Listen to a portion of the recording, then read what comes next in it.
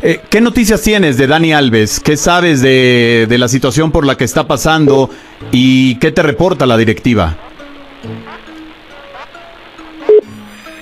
No, lo, que ya se expresó en su momento, ¿no? Desafortunadamente él y su familia sufrieron una eh, sensible y, y, lamentable pérdida de su suegra y bueno, pues él recibió la autorización tanto de tu servidor como de la institución para para viajar a España y estar acompañando a su familia. Eso es eso es la única información que, que hasta el momento se tiene y bueno, pues evidentemente estamos a la espera de, de, que regrese para que se reincorpore y vuelva a pelear por un lugar en el equipo.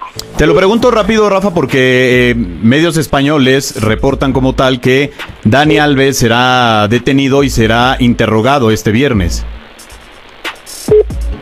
Sí, seguramente es un, tema que, bueno, pues tendrá el, todo el aparato legal de la institución, pues conversar con él y analizar y bueno, ponerse al tanto de cuál es su situación personal. Yo la única información que tengo, te repito, es la autorización que se le dio tanto del cuerpo técnico como de la organización para asistir a acompañar a su mujer en este doloroso momento que está enfrentando.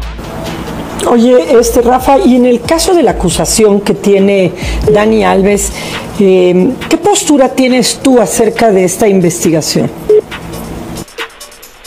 Mira, yo creo que es un poco imprudente emitir un juicio sobre un tema del cual, eh, del cual desconozco. Conozco a lo mejor lo mismo que pueden conocer ustedes, ¿no?